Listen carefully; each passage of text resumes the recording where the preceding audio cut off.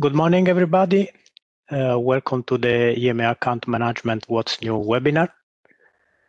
Uh, before we start, uh, please note that this session will be recorded and will be made available on uh, the EMA YouTube channel. Uh, for the session, we'll be using Slido for uh, question and answer. There is a chat in WebEx, but please note that that is not monitored. Uh, you can remain anonymous in Slido or you can put your name. It's up to you.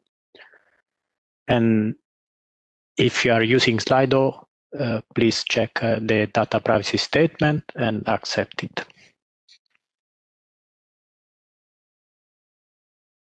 So in terms of uh, Q&A, we'll do our best to answer all your questions, but if we don't have an answer right away, we will uh, reach the colleagues that can answer for your question and we will provide then the answer in writing. The list of uh, Q&A that will be answered in writing and that we are not able to answer during the meeting will be published as an annex of the presentation.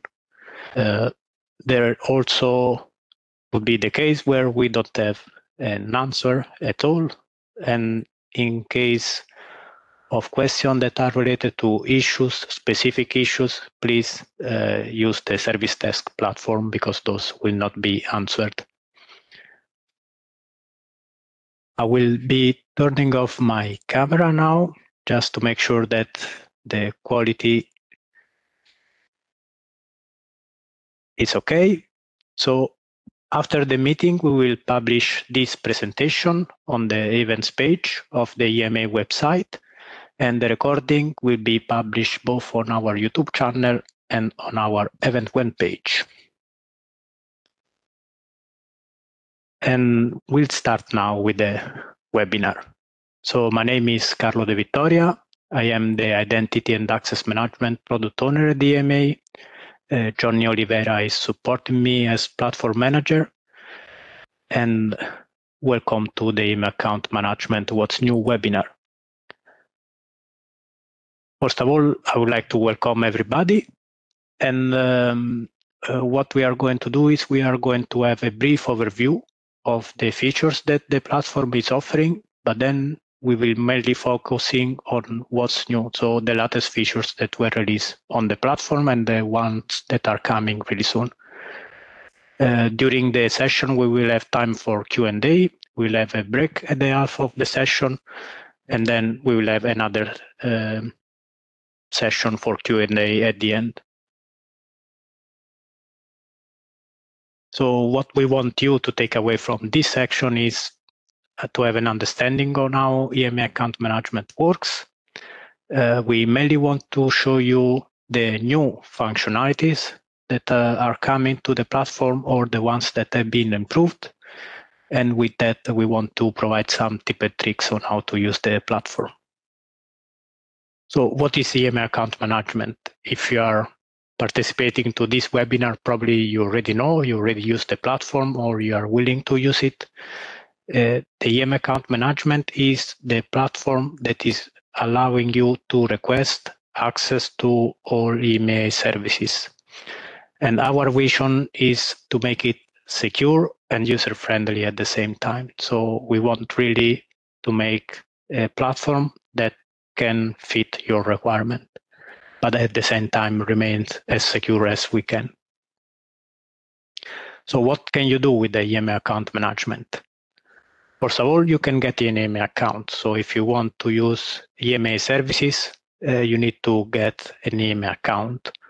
And you can do this uh, using the self-registration. The self-registration allows you to create an account. You just need to provide your name, surname, and email address.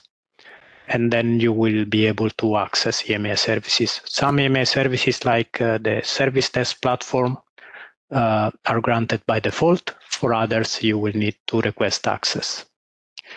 After you get an account, you can check your details, you can recover your username and password, and your account is retained as soon as you use it. So if you don't use it for six months, then your account will get disabled and after further six months will be deleted. So after you get a name account, you can get access. And you can get access as an individual user, but mainly you can get access on behalf of an organization. And the system that is managing the organization in the EMA is OMS, our organization management system that is part of the SPOR portal. So before getting access, we need to make sure that your organization is listed in OMS.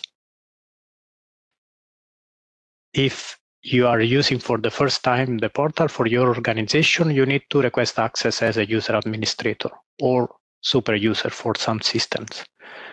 So only after a user administrator is appointed, you will be able to request further access.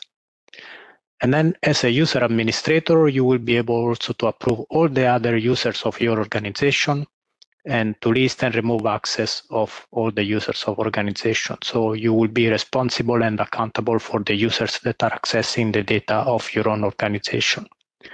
Each user can access multiple organizations and there is no restriction in the number of super user or user administrator that an organization can have. So after you are able to get access to one of the EMA systems, you can consume them. And the first step to access these services is, of course, logging into these systems. And more and more, we will see during the presentation, uh, we are relying on modern authentication so you can set up your multi-factor authentication, you can uh, add method, remove methods, and you can log out from EMA system. So these are all the features that we offer across the IAM landscape and specifically from EMA account management. But uh, as we said, uh, the focus of this webinar is on what's new. So what are the features that have been introduced in the system recently? And Regarding the EMA account, the first feature that we introduce is the self-service account termination. So if you don't need your account anymore, you can terminate your account. We also worked in making the integration with the OMS more robust and to showing you the right information. So we added an organization shopping cart, the notification of organization merges, the possibility to select historical records, and we also displaying the status of a location. So if a location is inactive. In terms of using the EMA systems, we have more and more systems using modern authentication, and more will be transferred to this authentication method.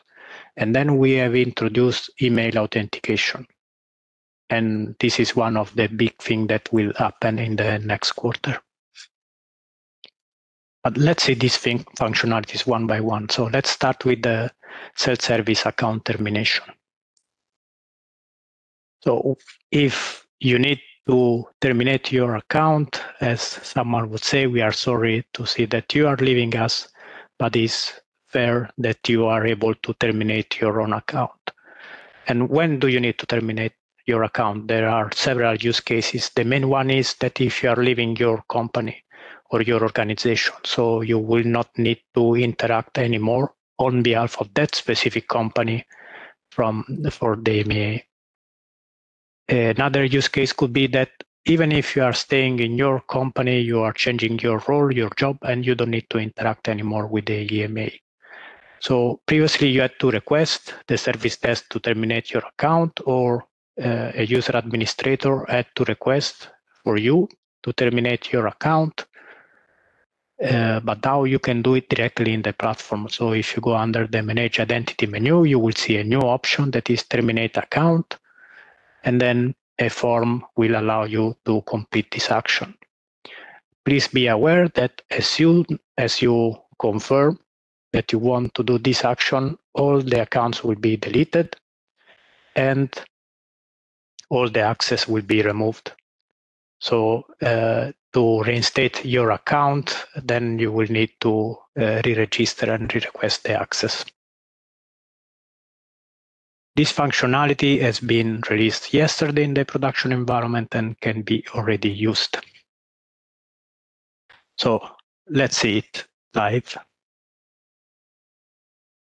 So now I am in our test environment and I using uh, a user that is called disable user and this user really wants to leave the EMA, so he will not access anymore.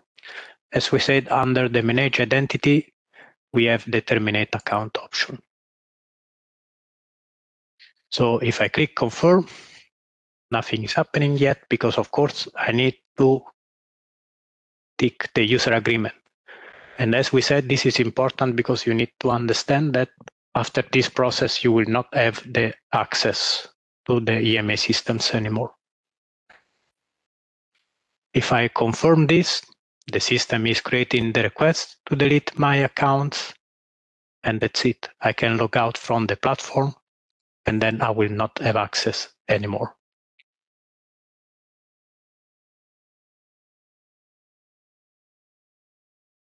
Let's continue and let's go to the get access part. So we already assume that you have your organization registered in OMS and you want to request access on behalf of an organization. Uh, we know that many companies are spread across Europe, so they have different legal entities and they have also different names uh, across different countries. Uh, it's already possible to request access on behalf of different companies, but the search needs to be consistent. Now we have introduced the concept of a shopping cart. So you can search, select an organization, go back, search again, add another organization, go back, search again as many times as you want. And the selected organizations will be shown in a tile that is close to the organization search. When you reach the stage of selecting which roles you want to have, then this is where you can remove the organization if you want. So before submitting the request, you are able to amend your choices if you want. But again, as we said, the most important thing is that your organization is registered in OMS. Uh, we are not showing this today, but uh, I hope that you know that if you don't find your organization in EMA account management and in OMS, you can request the organization directly from EMA account management to be registered without the need to go to OMS.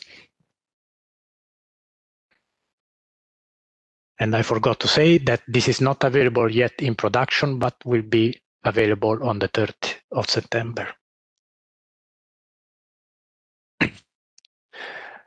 Another uh, important integration that we have done with our organization management system is about organization merges and historical record.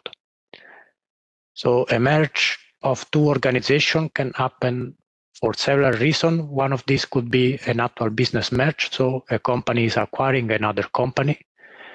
Another reason could be that we have uh, duplicates in our environment and we want to remove them. So that is called a technical merge.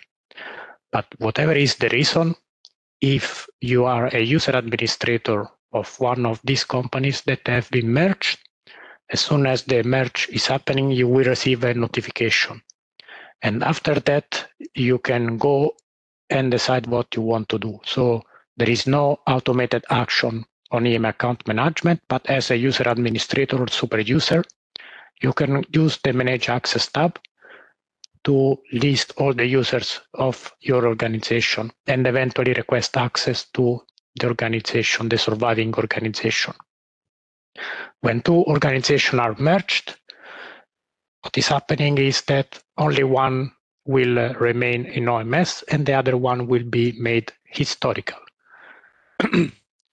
and we still have some EMA systems that will have data linked to an historical record of OMS. So if you want to access this kind of record, so after a merge, you want to access the organization that is being merged and is not available anymore in OMS, then you can use the tick box include historical record.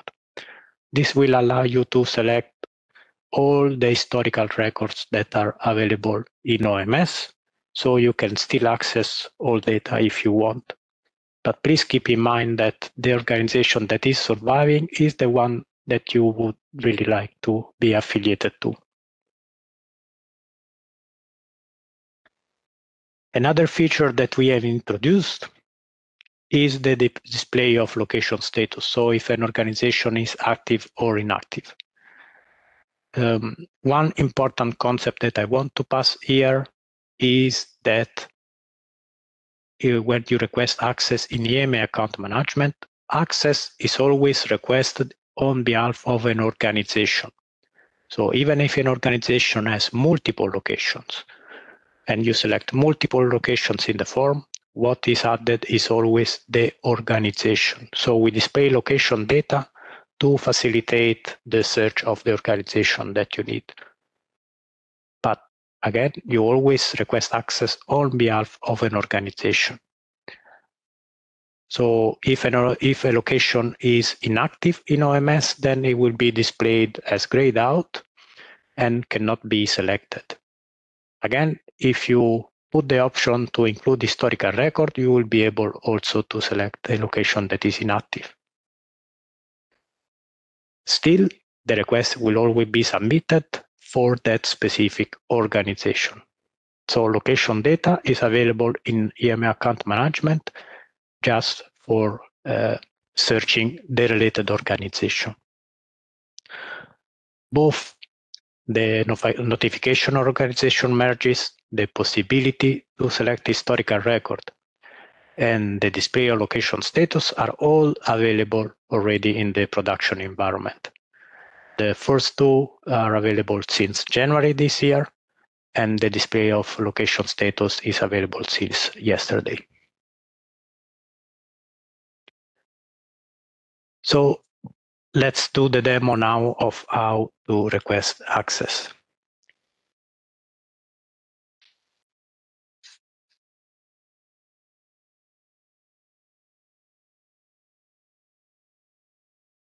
I will jump now to another environment, our dev environment, to show you the organization shopping cart. So as we know, we need to request access for an organization. And let's take a practical example, and we want to search an organization that is in Iceland. And we are really good. We already know the organization ID. We click next, and we can already see that this organization has several locations, and one of those is inactive, so I cannot really select it. I can still select the other two location, but as we said, the organization shopping cart is per organization. So only the organization will be added. It doesn't really matter how many times I select location, we only have one organization. Now, let's go back.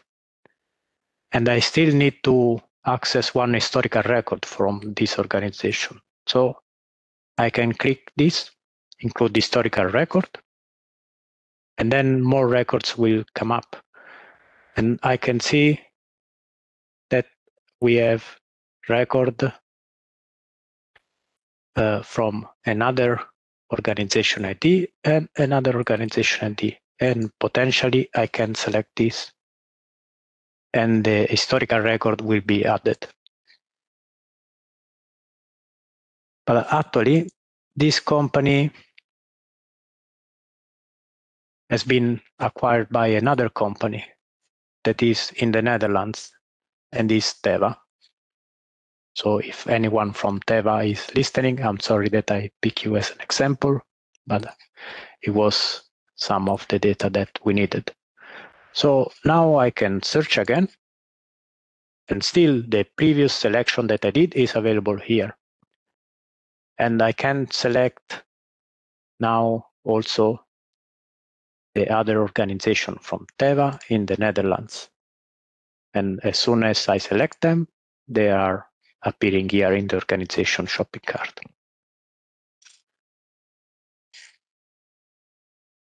So let's go ahead.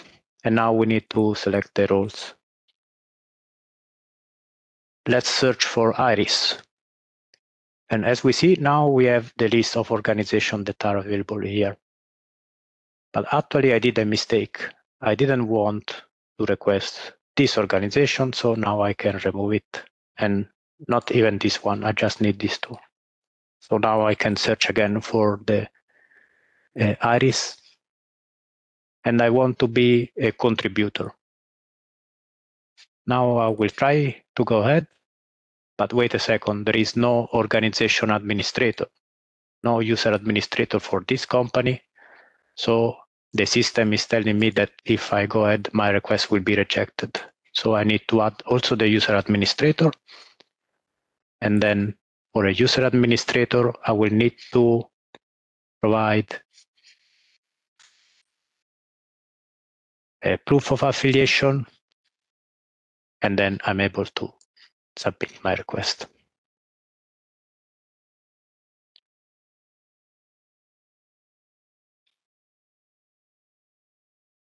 So let's pause here for a moment, and I want to pass you another tip. Um, we have added two organization and two roles. So this is uh, resulting in us requesting four roles. And we see that the roles are waiting on different queues.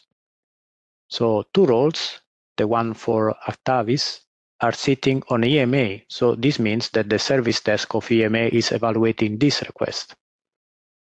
But these two roles are sitting on the approvers of the this organization ID that is Teva. So it means that this a, a super user, a user administrator is already appointed for Teva, and it's not EMA that will need to approve this request. So again, based on the users that are available for each organization, the system will decide who will be the approver. So in this case, the approval of this request will go into different paths.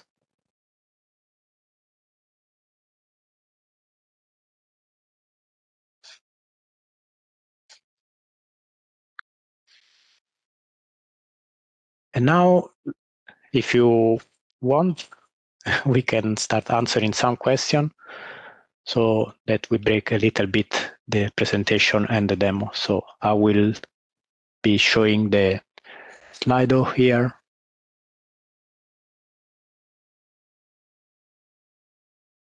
So the first question is if we can terminate another account.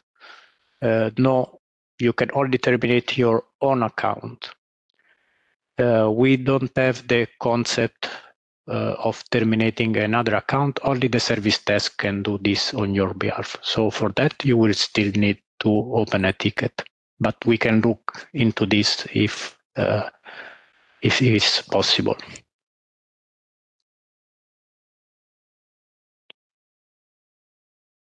I hear your request. So the question is if it's possible to improve the user nom- role name list because we are not consistent uh, with uh, the nomenclature. So sometimes we call MAH, that stands for Marketing Authorization Holder. Sometimes we use industry. Sometimes we use competent authorities. Sometimes we use national competent authorities. Sometimes we use NCAs and so on. Uh, I agree we should try to be more consistent and we will try to deal with the different teams. Uh, one point that I have to make is that uh, the marketing authorization holder is a specific status. So you can be an industry and you are still able to submit cases in IRIS, but you are still not a marketing authorization holder. And this is why for a QPPV, you have a marketing authorization holder because you need to have an authorized, product to do pharmacovigilance. So there, there is reasoning behind this, but I agree that we should try to be more consistent in this.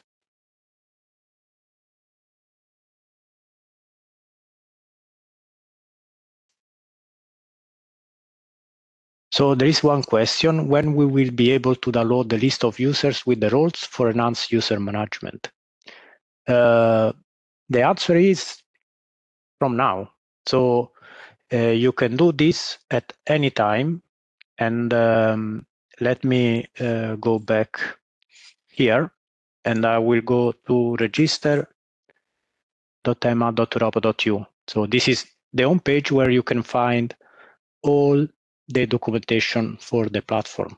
And if you go under the user administrator guide, uh, you will have, of course, an explanation of what is a user administrator. And you will have also view the list of users of your organization. So the manage access file feature will allow you to see all the users for the organization that you manage and you can export them at any time. So this is where you can export the list for the organization that you manage.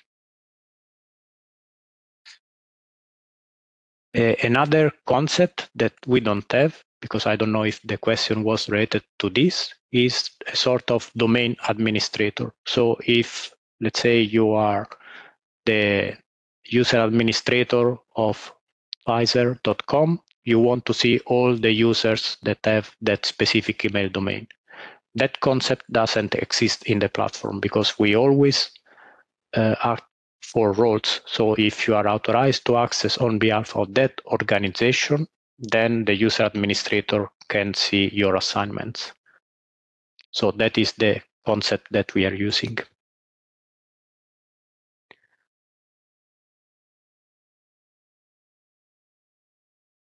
will it be possible at some point to clone a role structure? So we want to have a sort of option to say that a new user should have the same role of another user.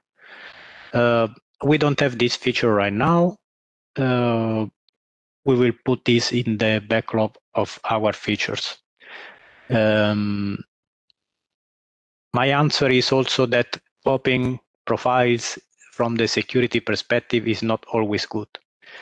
Uh, probably what we should look into is to have business roles that are grouping the different roles and are more easier to understand from the different stakeholders that are interacting with the platform. So that could be an option and we will look into that as well. But right now we don't have this, this feature.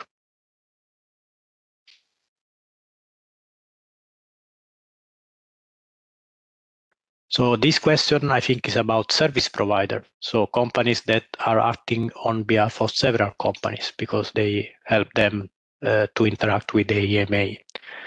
So do we need to terminate the account between the jobs if we are leaving one CRO and going to work for another? The answer is it depends. I'm sorry about that. Uh, but it depends if you are working with uh, your CRO account, so your email address is the one of your service provider, of if each company is giving you an email address from their company. So if you have an account that is just accessing that organization, then as soon as you stop working with them, you will need to terminate your account. If instead you have your CRO account and you have different companies that you're working with, then you just need to remove the access for that specific company. And you can retain the access for all the others that you are working with. At the end, it's always the ultimate responsibility of the company that you are working with to make sure that your access is removed when it's not needed anymore.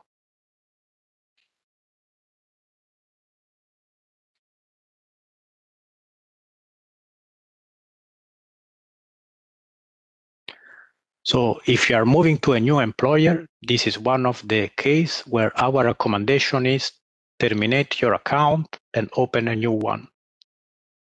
It will be cleaner or your access will be removed and then you will start a new account with a new email address under the new employer. So this is the answer that we always give when people are leaving the company.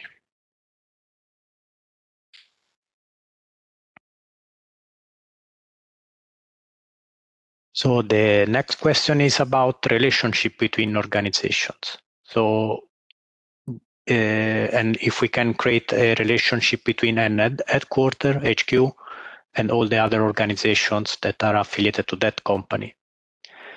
Uh, we discussed this feature internally and we still have um, don't have a solution for that. Uh, we know that this is an important feature and we are checking with OMS colleagues if a hierarchy or organization could be possibly implemented in OMS. But it's something that we have under our radar. Unfortunately, we don't have a solution yet. I will take other two questions and then we will uh, resume the slides. Is it possible or could be possible in the future to export the list of available user roles in uh, EMA account management? Um, this is something that we don't have right now. It is true that uh, you have a table when you reach the stage of your access request when you can select the roles and you can copy that table, but it's not exportable as a CSV or anything. So it's something that we can think about. Uh, and we have also received a request to have a document where we list all the roles available for all the platform, but for us it's difficult because we have several teams working on this and the roles are quite dynamic. So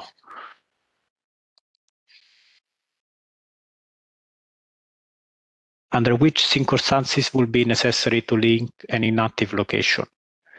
Um, this is a good question. I don't see a real use case. The availability of inactive location is just again to show data that are available in OMS.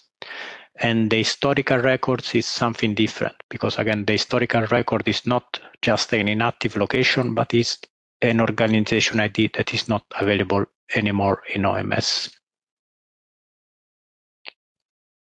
So I will resume the slides now, keep asking and uh, putting questions here, and we will have another um, break for Q&A.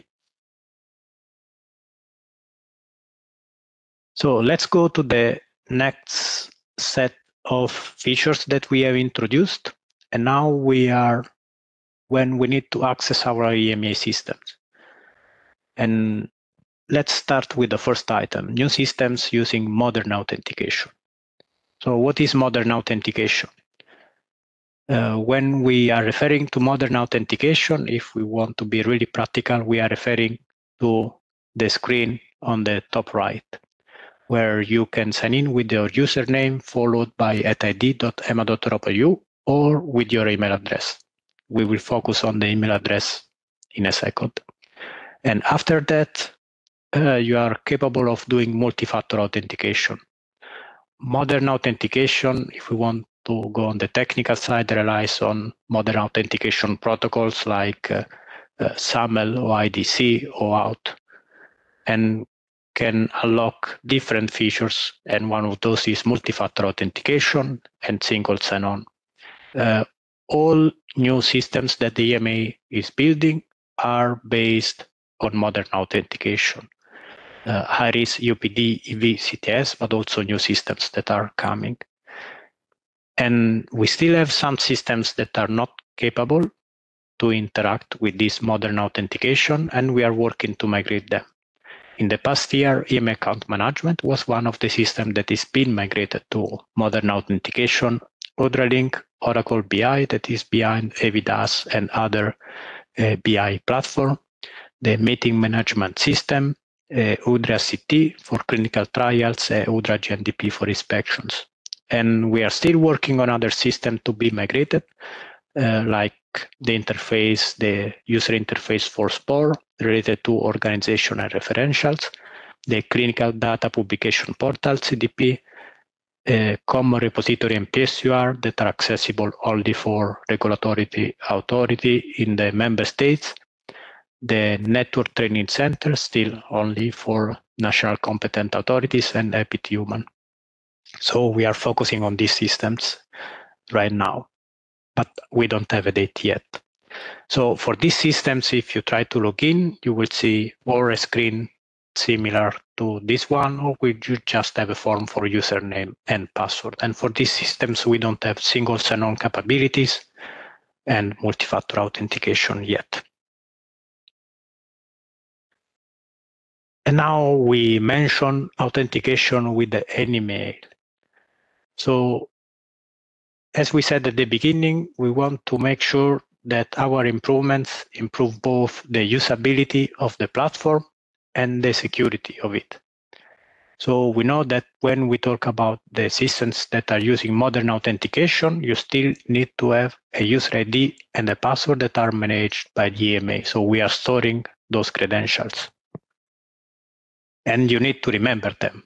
So if you forgot them, then you have self-service capability to use the forgot username and forgot password and recover those credentials. But what we want to do is something different. So we want you to really forget about this credential. And the difference will be that you will authenticate with your email address.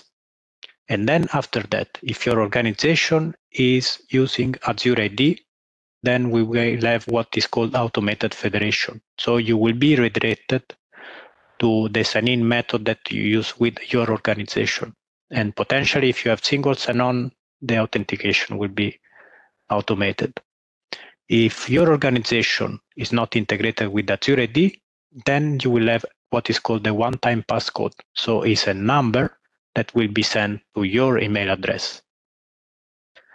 And with this, we are locking uh, several use cases and one of those is the use of collaboration tools like Team and SharePoints, because with those, uh, right now you need to have uh, two accounts and you need to switch between these accounts. You need to have incognito windows sometime to access our system. And now you will be able to use the same account that you have in your, in your organization to use these collaboration tools. But how it looks like, and then we will see it also in the demo. So as we said, in this sign-in form, previously you had to insert your user ID with the suffix at. Now you can insert your email address.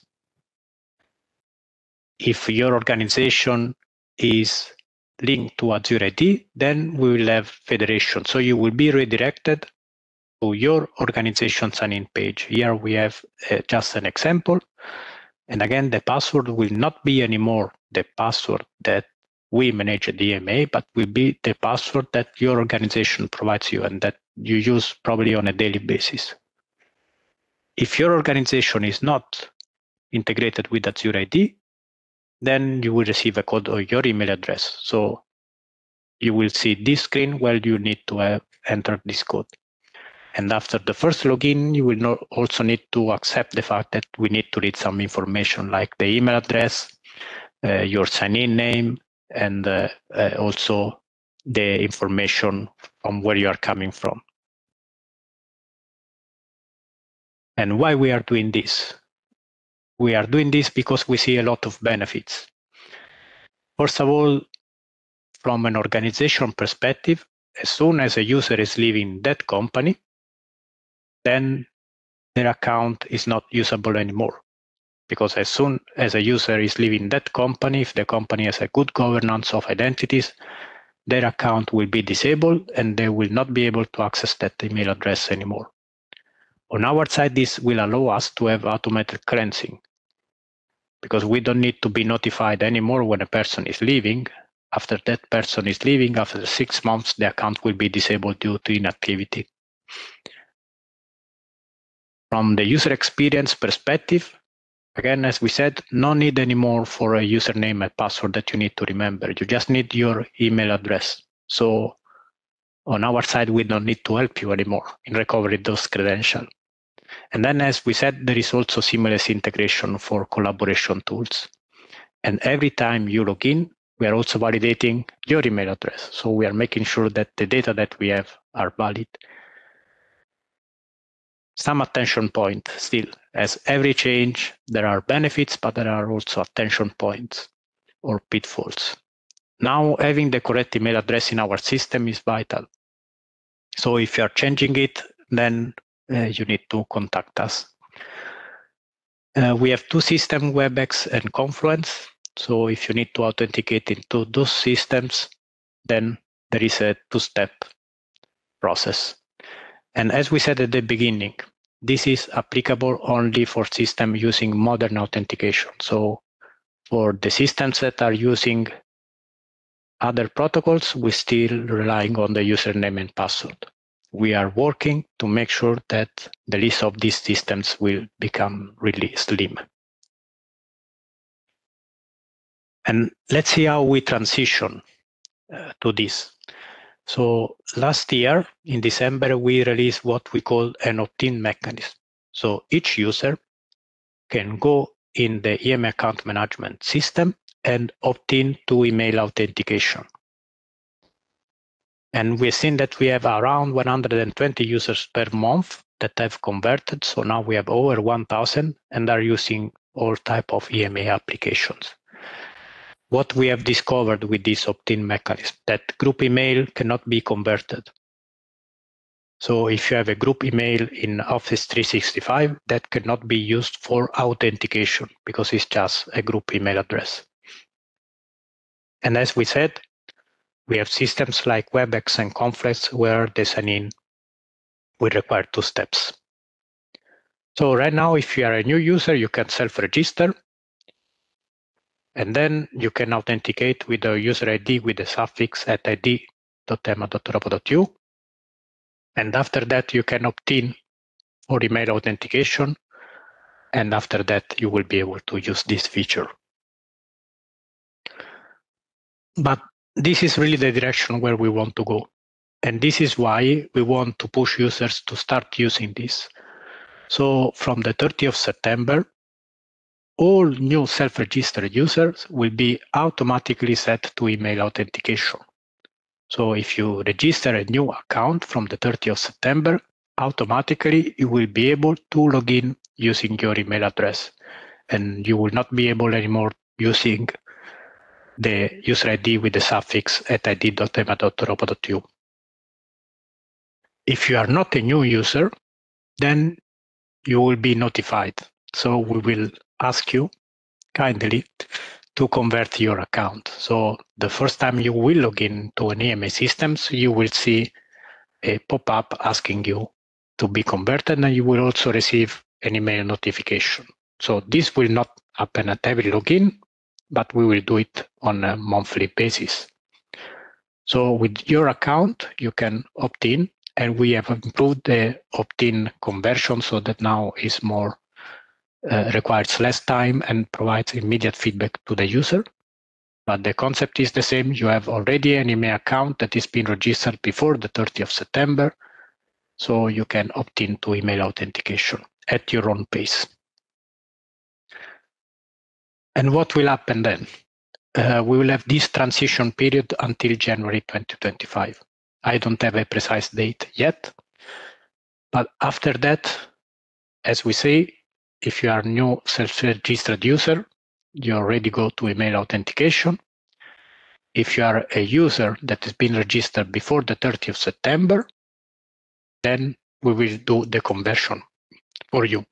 At that point in time, all the users will be authenticating using their email address. So what have we introduced here? We already have the opt-in mechanism, as we said, but we have worked based on the feedback that we have received.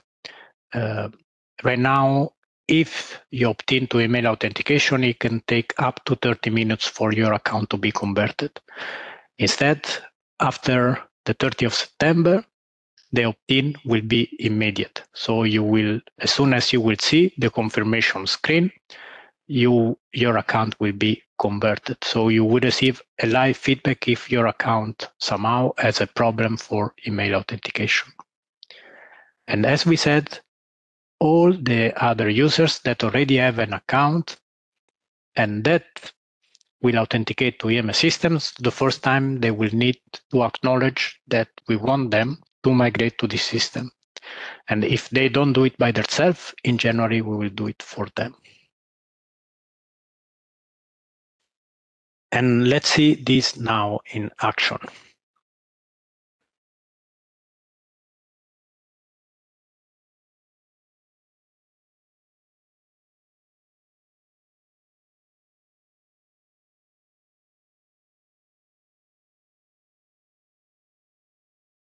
So I will use an account that is not converted yet.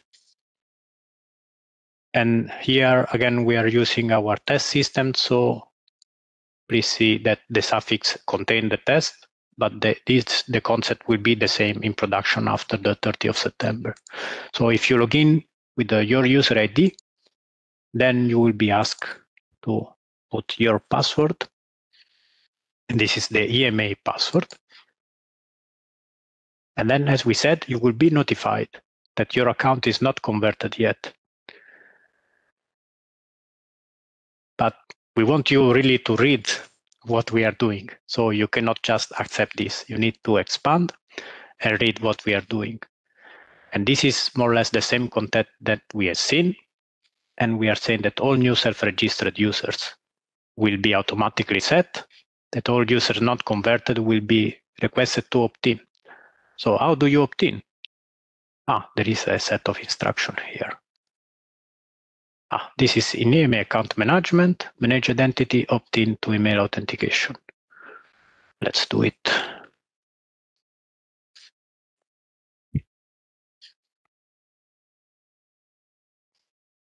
So I go to manage identity, opt-in to email authentication.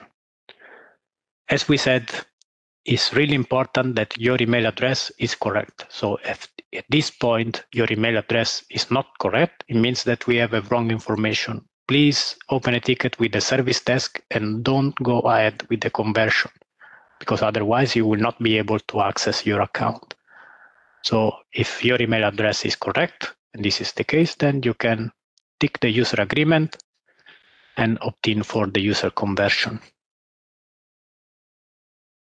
So I received the confirmation. And now I have an email on that user account telling me that I need to click a link.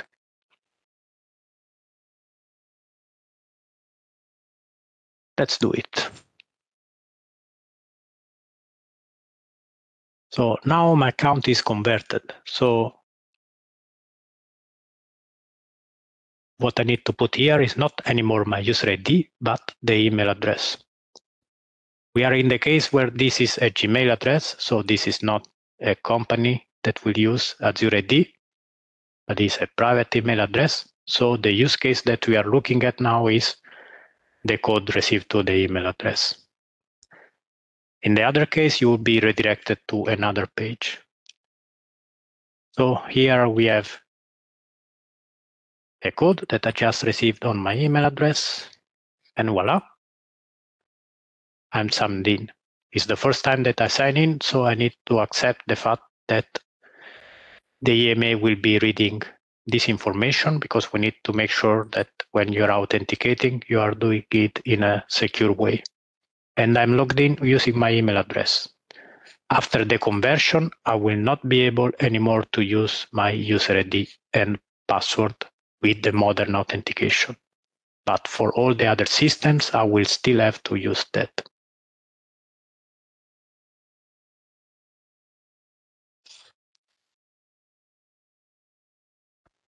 So before going to the Q&A, I just want to give some statistics about the system. So you can see here that we are dealing with uh, more than 12,000 organizations and that we have almost 90,000 users. And for those users, we have more than 1200,000 assignments in the system. So the system is dealing with a high volume of identities.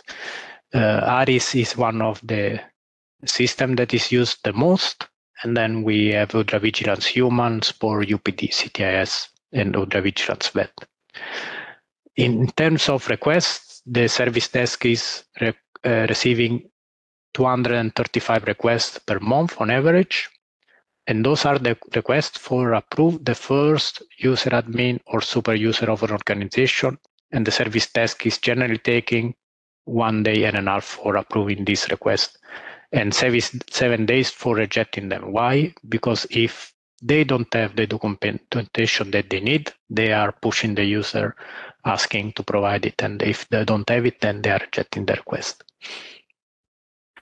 Uh, as we said, from EMA account management, you can even request a change request in OMS to register an organization, and we have around 125 per month.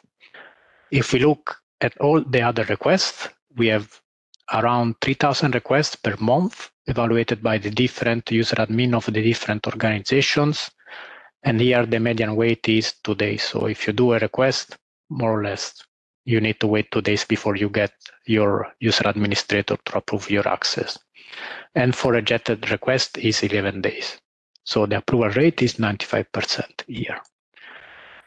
Just to recap what we've seen, I will not go through all the items, but the notification of organization merges, the possibility to select historical records, and the location status are all available in the production environment right now. The organization shopping cart is coming on the 30th of September. Self-service account termination is already available in production. The improved opt-in mechanism and the switch to email authentication where you are notified and new self-registered users are set to email authentication are both coming on the 30th of September. You can already opt in, but as we said, it will take a bit before your account is converted and you will not be immediately prompted for error. And now let's go back to Slido who have some more Q&A.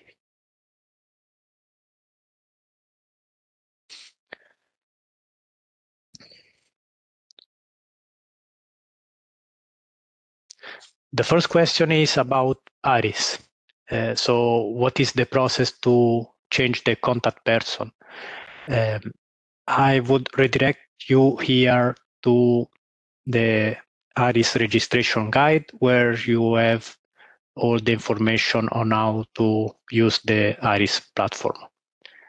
And we have the, in Iris, we have the role of uh, coordinator that can access all the procedure, or if you are the manager of a procedure, you can edit it. So it depends.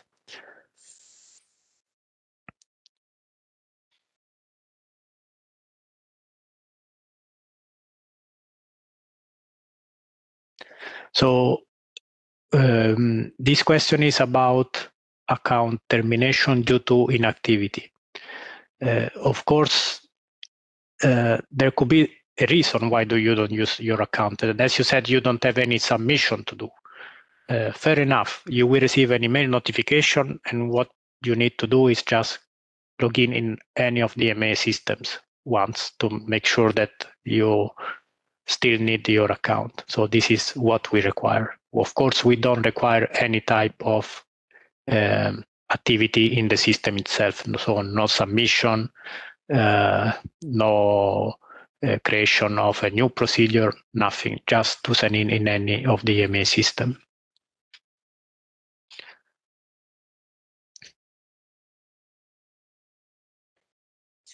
Do we need to inform our IT colleagues of the change to email authentication?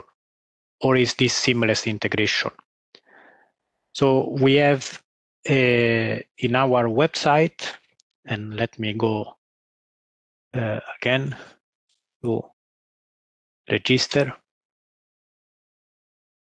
Uh, we have just updated the guidance on how to log in into EMA systems. So in theory, the integration is seamless. But if your organization has several controls on Azure AD and is integrated with Azure AD, it could be that your access is blocked. So you will receive an error like this. Access is blocked by your organization. In this case, it's not the EMA that is blocking you, but it's your own organization. So if this happened, then you need to contact your IT department because they need to whitelist the EMA uh, to allow your account to interact with the EMA. So yes, it's a good idea to inform your IT department of this change.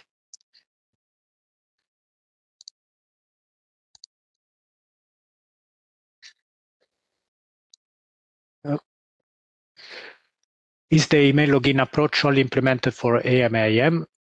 No. So the the switch to email authentication is impacting all the systems that are using more modern authentication. Uh, CTIS, IRIS, UPD, EudraVigilance, UPD, and so on. All these systems are impacted. And as we said, we want to move this forward for all the EMA systems. So we are working on the systems that are still requesting you just a username and a password without MFA to convert them to this mechanism.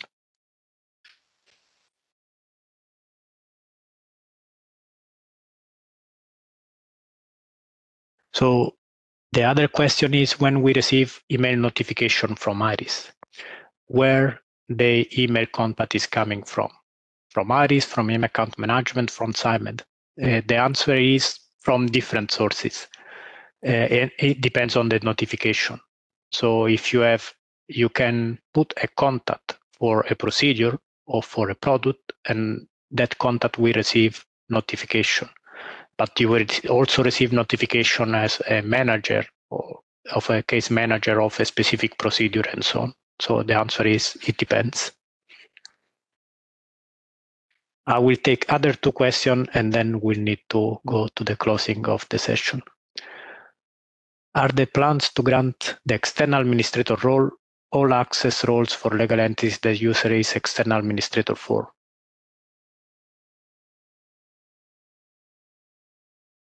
um, I don't know if I am reading this correctly, uh, but you want something as we discussed before. You want to have a sort of hierarchy of organization when where you want to manage only from the HQ. If that is the case, as we said, we don't have this concept yet. And the last question for today, and then we'll try to answer the other in writing. Oh, sorry, that one skipped. I don't see IRIS and PLM important in the list of modern authentication. Why? Uh, IRIS and PLM are already there. So if I did a mistake on the slide, I will correct it. But again, IRIS and PLM, they since day zero are already using modern authentication. This is why probably you don't see in the list of the recent system that have been converted. So Thank you everybody for all the questions and the participation as usual. Very useful feedback. Um, in Slido, I will now set the pool. I will leave the Slido open if you have further questions and further comments until uh, the end of today.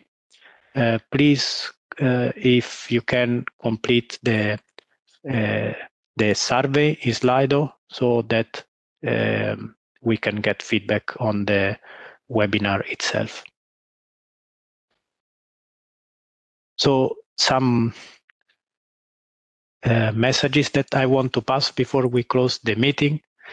Uh, the first one is on the homepage of EMA account management. You have all the guides that can give you information on how the system works, on how we manage systems at the EMA, and also you always have the reference for the service desk. So if you don't find the information that you need, please uh, use uh, the service desk. And the key takeaways that I want you to take from this webinar is that we are continuously working on modernizing uh, our access management capabilities. And as we said, we want to make it more secure, but also more user friendly. And we are switching to email authentication for this reason. So it's in our vision really to get rid of passwords if we can in the near future. And on top of that, we're still working on improving the way that you can request access to EMA systems. So thank you everybody again for uh, attending this webinar. And uh, as I said, if you want to know more information about the system, please uh, use register.ema.europa.eu. Thank you, everybody.